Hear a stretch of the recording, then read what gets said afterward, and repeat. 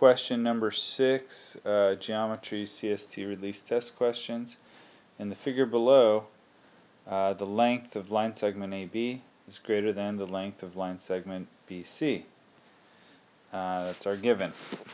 Uh, AB, BC.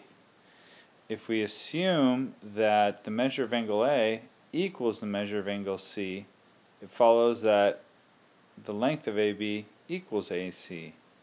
This contradicts the given statement that the length of AB is greater than the length of BC. What conclusion can be drawn from this contradiction? So here we're talking about a contradiction. So um, our original assumption, not our original given, but our original assumption must be incorrect.